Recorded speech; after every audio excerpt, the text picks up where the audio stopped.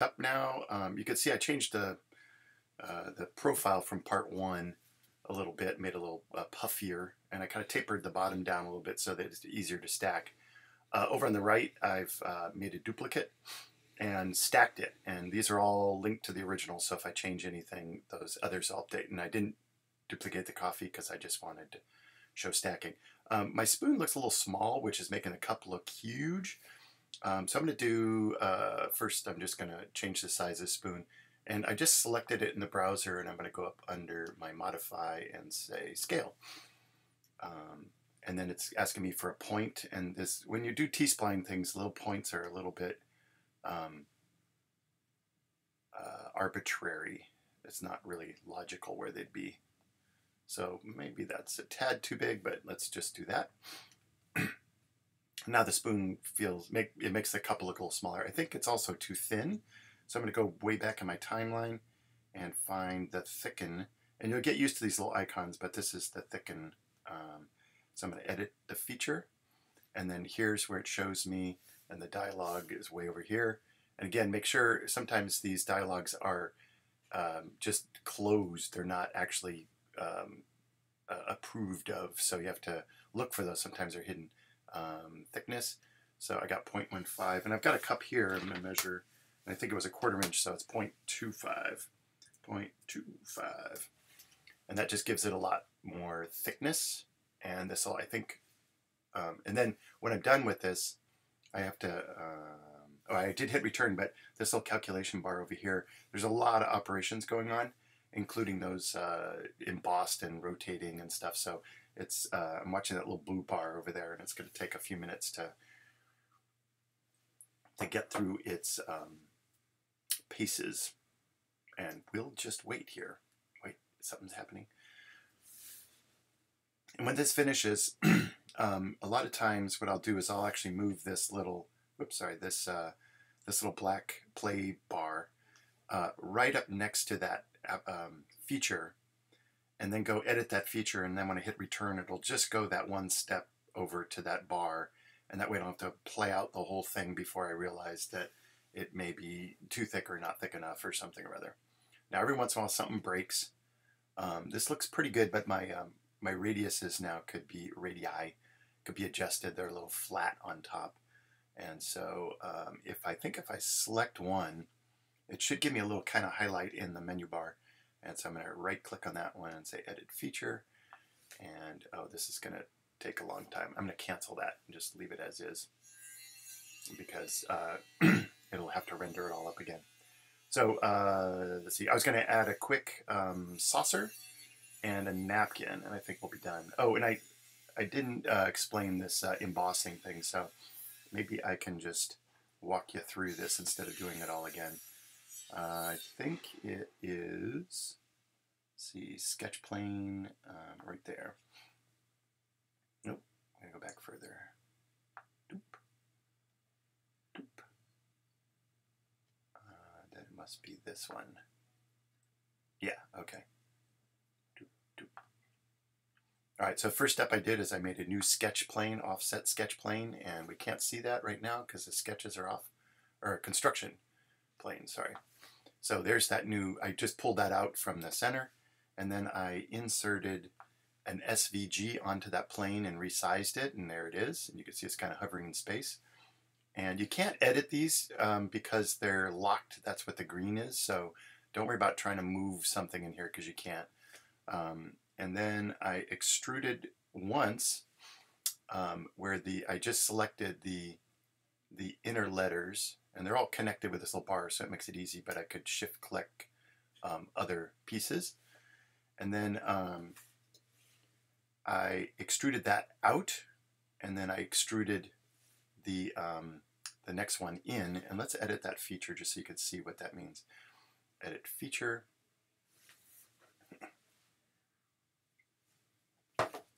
And so this is, um, I, uh, I selected the profiles and then I said start from object, so that's what this blue selection is. Um, the object is selected.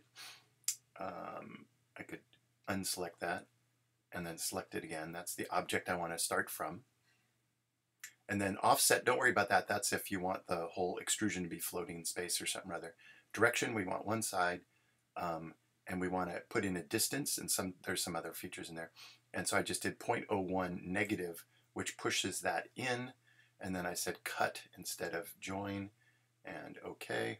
And so now I've got the um, outer uh, trap line of this is embossed in or debossed. And then the, the letters are embossed out. So it's a kind of a two-part embossing.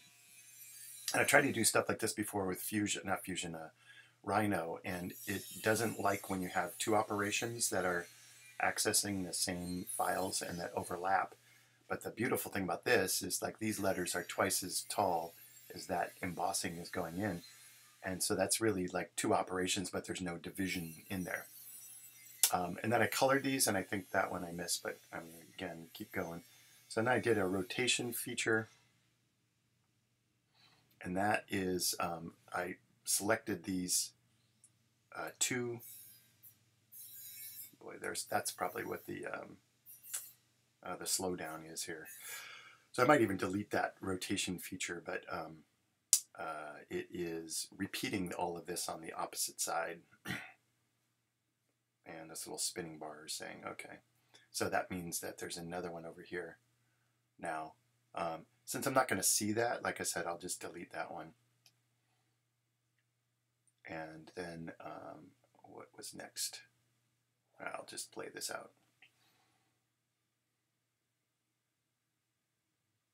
Oh, and something happened with my color.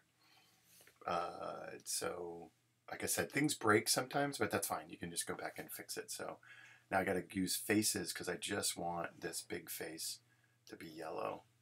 And notice here, I'm, even though I, those are direct copies of the other one,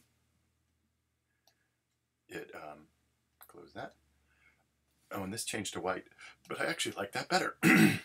so I'll just go with that. So, um, so now the Gulassa logo is not on the back.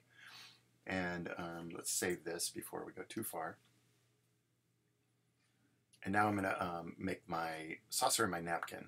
Um, the saucer is going to be pretty straightforward. So I'm going to, I had this idea for a napkin. I'm going to try um, to go over to the um, create menu again and uh, the purple stuff and just make a, uh, what is it, plane, plane right there.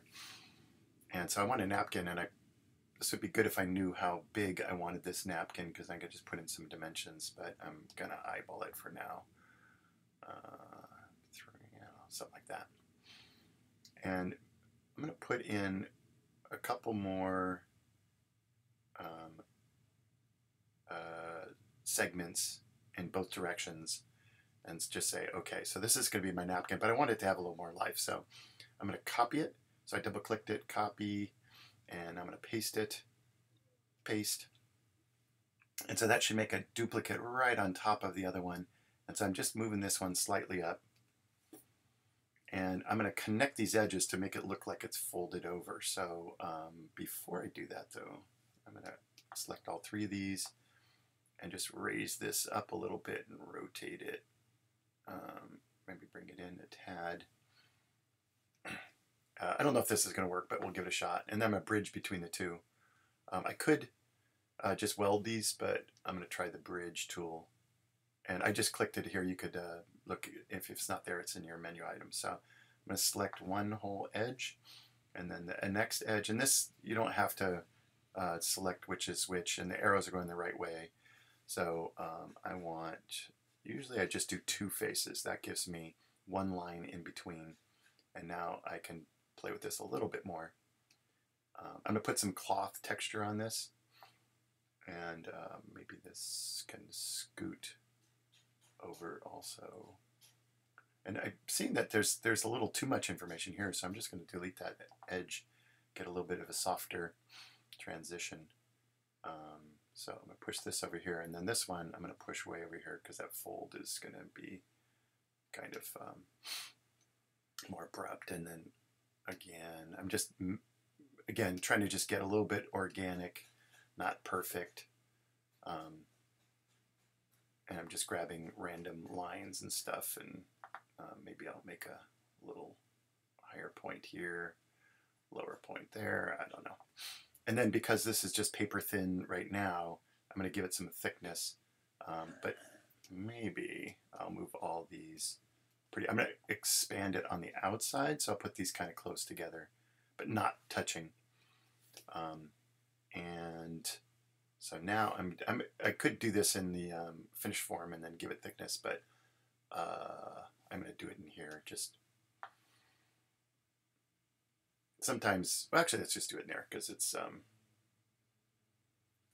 it's easier than I, if I go back and adjust this, um, the thickness will change too. So uh, that, and then, oh, we wanted to make a um, saucer, but maybe I'll do the saucer uh, using the cups uh, geometry. So hit finish form, and this went pretty quick because my menu bar was way down here. Um, let's finish this up. So I'm to take that and modify, create, thicken, and then I want to go on the outside and maybe like 0.05. Just fabric's not that thick. And um, okay. And here I've got these uh, harsh edges, so I probably want to put a little radius on. And I'm gonna I'm gonna do these edges first. This one, this one, and way over here. Ah, come back here. Uh, that one and that one. I'm gonna push these in a little bit more than. And the nice thing if you do these first is that makes this second radius a lot easier because it makes a full loop. So I want that one and that one now, and it automatically went around those radius corners. And what did we say? This is 0, 0.01 maybe? Um, 3?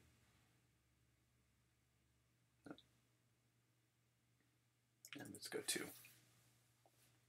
Okay. All right, this looks a little bit I might need to mess with it more, but let's put some material mostly is what I want on here. So uh, to appearance, and there's some cloth in here, leather and cloth. And let's go cloth, and then they have some um, pre-colored ones, and you can recolor them, but let's see, fabric green, red, yellow. Let's see what yellow looks like because we already got our, um, and it looks like the mapping is in the wrong direction, so it's doing something kind of weird, but we'll fix that. Uh, but let's let's make the texture just a little bit bigger, and um, then I'll fix the uh, orientation. So I'm going to close this. I have to fix this um, the orientation in the render environment because the tool is there. And use this. I don't know what this is supposed to symbolize. This little diamond but um, projection type, we're going to go to um, planar. And then it's asked us first the axis. And I think I want this one. Yeah. So that's going straight up and down. So it's projecting down onto this. Actually, what's going to happen is that might stretch around the corner here, you can see. And so sometimes box for something like this might even be better. Yeah. There's a little stitch along here, but you can see the fabric looks a little bit better. All right, there's my cloth napkin. And um, so maybe it's a little tall compared to, I, I don't know, I, I should measure a napkin really. Because um, this cup, even though it looks pretty big, is actually just a cappuccino size cup. So this whole thing is actually kind of smaller than you think it would be. Um, uh, so let's go out of here. We're almost done. And um, I'm going to put the spoon just on this just to uh, make it more interesting. And I'm going to move that. So I want to move a body. And notice again, my arrows are going all kind of weird. So if I go up under my bodies instead, and I think that's the last one I made. So let's move that down and uh, just kind of centered. Okay, and then my spoon is, if I select it once, usually, oh yeah, that's a whole separate, because I brought that in, it's a whole separate um, component. So I move that copy over here, and I got to get that. And this, I, there is some align tools, but I think usually I just kind of eyeball check. And it's okay if it goes in just a tad, or if it's just a tad out, but you don't want that. so um, where was spoon over here? And instead of moving again, I'm going to edit that move.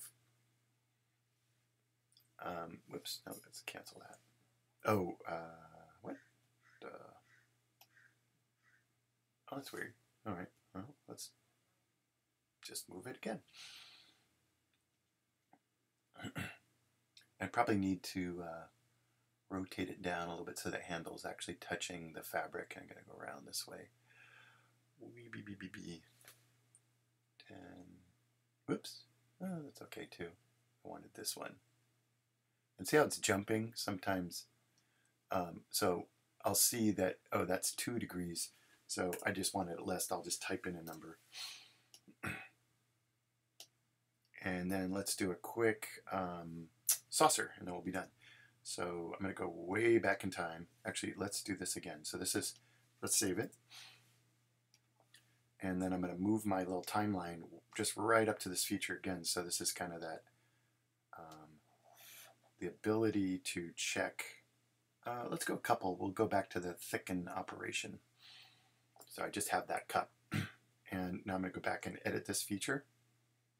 And sometimes what I like to do is like this is supposed to fit into this, so I'm going to actually select this whole edge. Select one, double click the other, and I go the whole loop. And then I'm going to do the same up here, but I can't, it's kind of weird, I can't do that twice.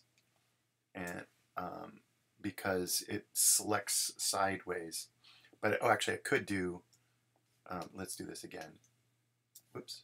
Select one, double click for this loop, and then the shift arrow up and then I got that whole thing.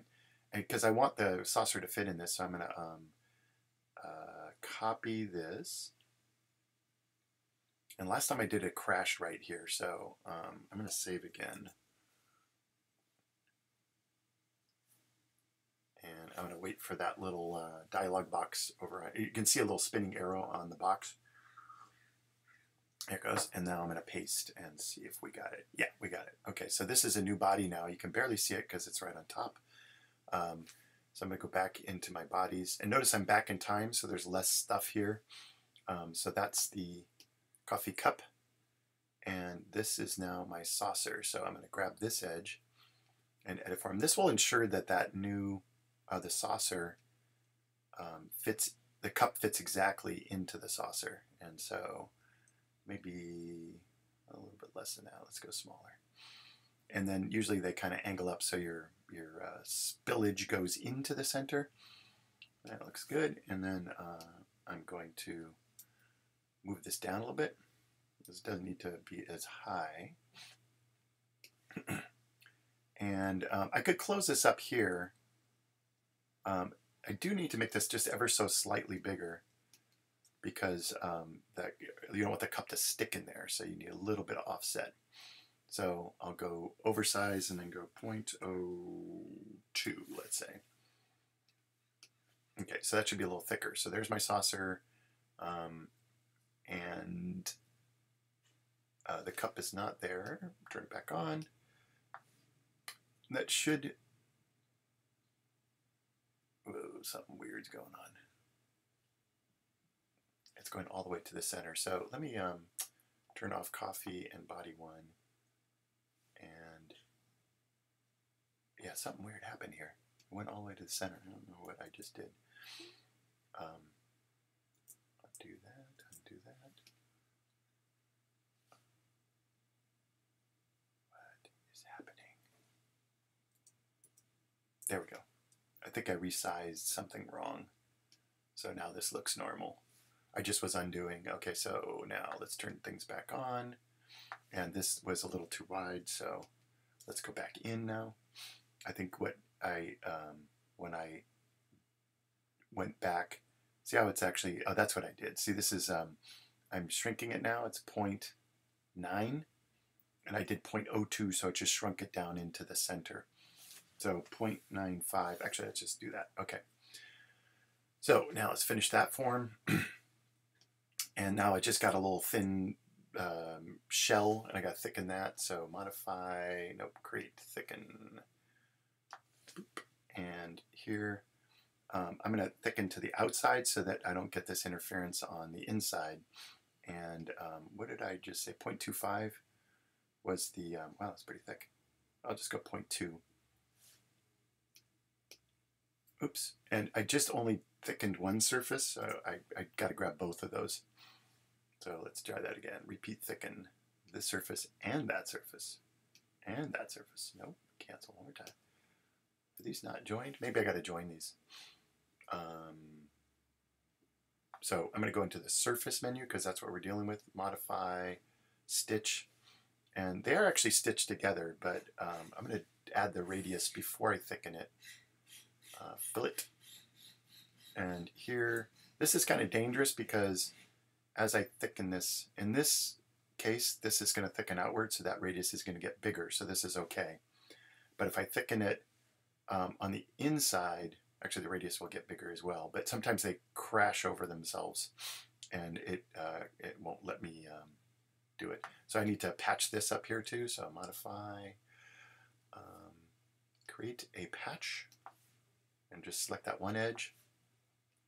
Okay, and then I got to stitch those, and I could see there's a little interference because this cup is, I should have moved that down a little bit, but let's just deal with this. Uh, modify stitch, this and this together, okay, and let's thicken this.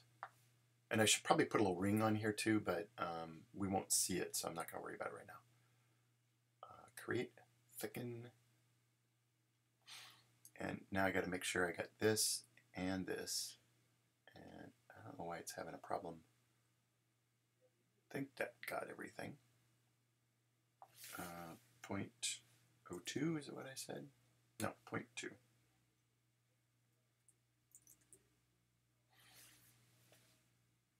I noticed that it actually that radius did crash over itself, but I think it's smart enough to deal with it. Yeah.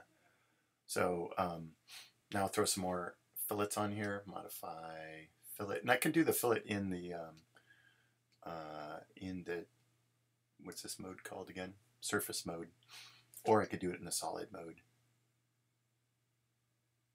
So that looks good. Oops, it just went a little too far. The last second. Uh, let's repeat fillet because I undid it. Uh, that, that, and that. In this case, I'll just go 0.01. Oops, once again, 0.1.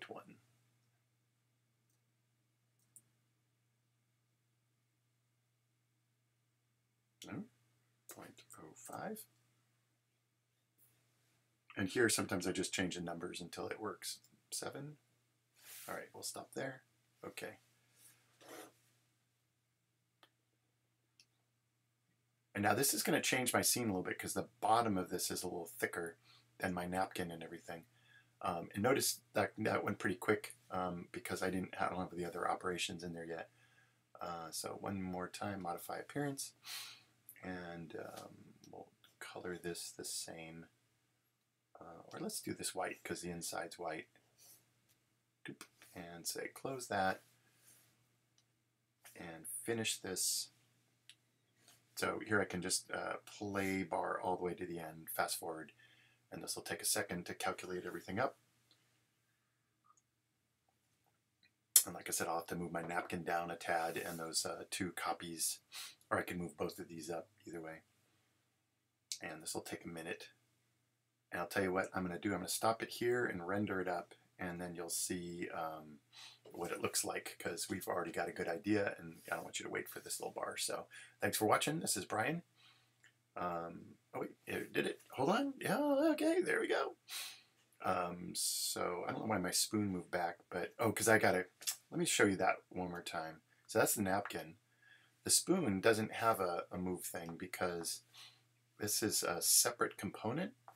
And so uh, I'm going to go back into solids move this say one more time and also resized it but I have to capture that all this um, so that's that and then see this up here in the end it says position and I want to capture that position and then that will permanently put it there um, I don't really understand why but it'll remember where you brought it in and, and that's the position it's going to be in and then I scaled that up and so this and um, oops, I got combined. All right, you know what I'm talking about. I'm going to render this up, but I'm going to stop it here. Thanks for watching. This is Brian Gulassa.